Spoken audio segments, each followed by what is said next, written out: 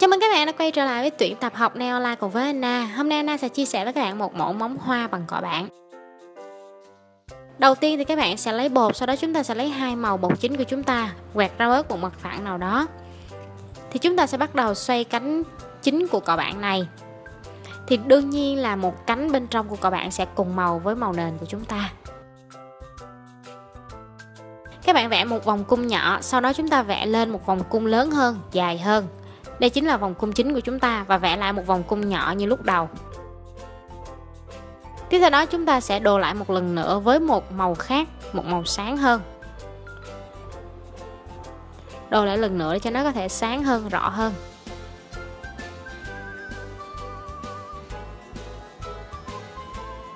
Bước này không cần thiết nếu bước thứ nhất các bạn đã có thể làm được nó sáng lên, tức là nó rõ lên rồi thì bước thứ hai này không cần thiết đến.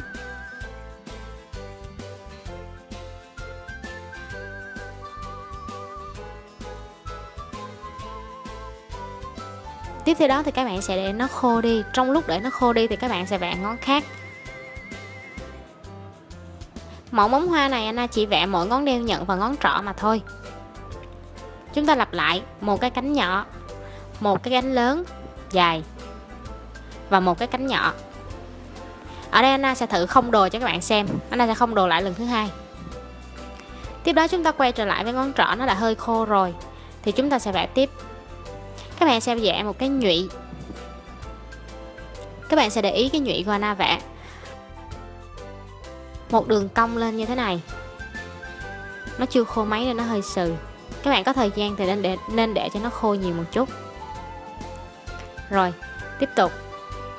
Chúng ta đồ lại cho nó sáng hơn. Sau đó các bạn sẽ lấy bột chúng ta vẽ cánh úp lại để tạo ra một cái nhụy. Các bạn sẽ chú ý kỹ nét này khá khó. Các bạn sẽ bắt đầu từ bên đây. Vẽ cong xuống, ngược xuống như là cái xô vậy. Một nét ngược xuống úp lại với cánh lúc nãy để tạo ra một vòng tròn. Đây đây chính là cái nhụy của chúng ta. Hai nét hình chữ cờ nối lại thành một vòng tròn. Đây chính là cách vẽ nhụy bằng cọ bàn tiếp theo đó, chúng ta sẽ vẽ nét cánh ngoài, xoay một cánh nhỏ như thế này. Hình chữ cờ nhỏ kéo dọc qua để có một cánh bên ngoài. Tương tự bên đây bên đây thì chắc chắn sẽ là ngược tay rồi. Các bạn sẽ quay ngược cõi cái này để vẽ. Vì nó là ngược tay. Rồi phần này nó sẽ khá khó, các bạn sẽ kéo từ từ lài lài ra. Tại vì nó đang ngược tay của chúng ta chúng ta khá khó vẽ. Các bạn sẽ kéo lài lài từng cánh nhỏ với nhau. Kéo lài lài nối từ từ lại. Rồi, ok chúng ta sẽ vẽ thêm những cái cánh nhỏ bên dưới để tạo ra một cái hoa đang nở tươi hơn. Ở giữa này trống, chắc chắn là chúng ta sẽ cho một cái hoa vào rồi. Như thế này. Một cánh nhỏ.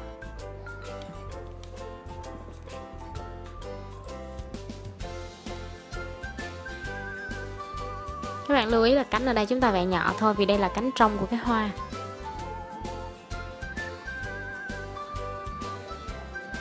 Tiếp đến rất là đơn giản, các bạn chỉ cần vẽ thêm một vài đường nét nhỏ ở dưới nữa là xong. Tạo cho cái độ nở của cánh hoa và tạo cái cảm giác 3D khi chúng ta nhìn vào.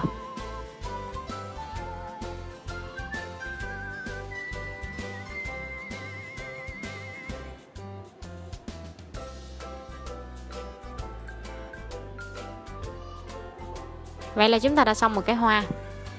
Hoa bên đây tương tự. Anna sẽ thao tác lại cho các bạn xem. Hoa bên đây Anna muốn quay từ bên phải, quay qua bên trái. Còn các bạn nào muốn quay ngược theo hướng nào nữa đó thì quay. Ý là hoa chúng ta nghiêng theo hướng nào đó là tùy các bạn design bộ móng này. Vẽ một cái nhụy, nét trước của cái nhụy. Sau đó, chúng ta sẽ vẽ úp lại một lần nữa để có một cái nhụy tròn. Như thế này. Nhớ là hai đầu nó khít lại với nhau thì nó mới tạo ra vòng tròn tiếp đó các bạn nối thêm một cái hoa, cái cánh bên ngoài nhỏ như thế này. Rồi một cánh ngược. Ngược tay, ở đây các bạn có lựa chọn là vẽ từ dưới lên cũng được. Đây, Anna vẽ từ dưới lên cho các bạn xem, ngược lên từ dưới lên.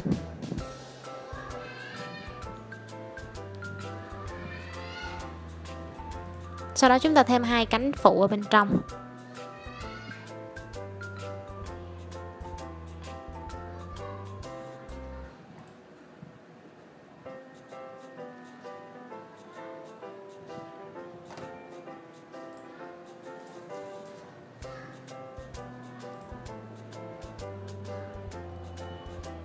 Tiếp tục là thêm những cánh nhỏ phía dưới chân nữa là xong. Đây chính là mẫu hoa của chúng ta. Chúng ta sẽ qua bước trang trí lên. Trang trí thì chắc, chắc chắn là chúng ta sẽ trang trí bằng lá rồi. Thì các bạn sẽ lấy cọ bạn lấy hai màu trắng và xanh Màu trắng ở ngoài, màu xanh ở bên trong. Chúng ta vẽ lá. Anna sẽ tạo ra cụm lá để nó thích hợp với cụm hoa này. Đây là một cái hoa nở dạng như hoa mẫu đơn nở lớn, Vì thế chúng ta không nên vẽ một chiếc lá mà các bạn sẽ vẽ cụm lá. Đây chính là một cụm lá. Chúng ta thao tác tương tự cho cụm lá bên dưới. Tùy theo móng của chúng ta, còn nhiều hay ít mà chúng ta vẽ thôi. Cái cụm lá này nó còn có chút xíu thôi thì chúng ta cứ vẽ lại lại với chân màu xanh thôi. Rồi, thao tác tương tự cho cái hoa còn lại. Một cái cụm lá.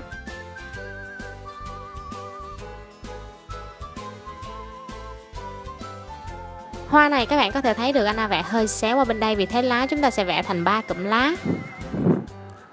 Các bạn sẽ vẽ những đường răng như thế này để tạo ra lá. Phần này các bạn úp lại một cánh thì sẽ tạo ra cái chớp của cụm lá. Rồi, ok, đây là một cụm lá. Anna sẽ thao tác lại một cụm lá nữa ở trên đây, khoảng trống ở phía trên này.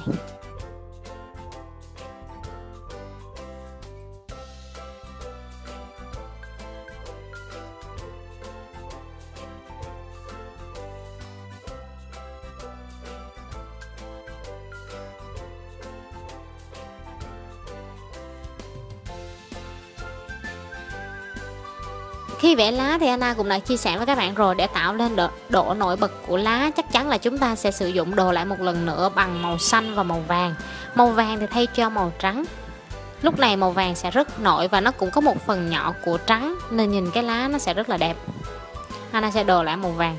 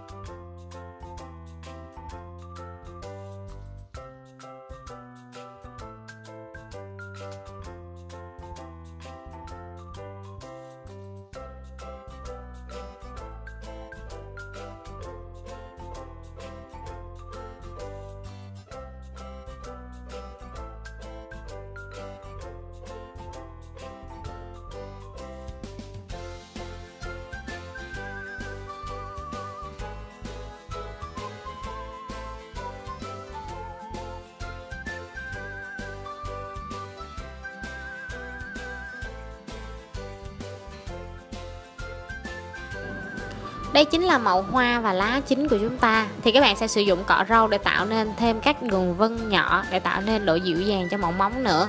Cái phần này các bạn tùy ý thôi. Ở phần các móng còn lại thì Anna sẽ tạo ra một đường họa tiết, chứ Anna không vẽ thêm, tại vì chúng ta vẽ thêm thì sẽ không đẹp. Đó chính là phong cách mọi khi Anna vẫn chia sẻ với các bạn. Một vài móng chính cho bộ móng mà chúng ta vẽ thôi, còn lại chúng ta trang trí lên. Ở đây thì Anna sẽ chia sẻ với các bạn một mẫu trang trí như thế này. Các bạn sẽ vẽ hai đường cong từ bên đây qua sau đó các bạn sẽ chấm bi lên bộ móng của chúng ta. Rồi chúng ta chấm bi luôn cái họa tiết các ngón còn lại của chúng ta. Các bạn cứ chấm bi như thế này thôi là được rồi.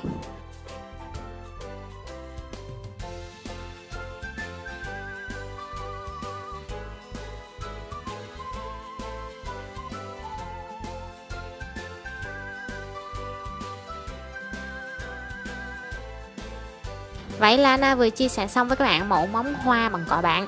Cảm ơn các bạn đã theo dõi video của Na Hãy nhớ là đăng ký kênh của Anna để có thể theo dõi các mẫu móng hoa bằng cọ bạn khác. Cảm ơn các bạn đã theo dõi video của Na Chúc các bạn có một ngày tốt lành.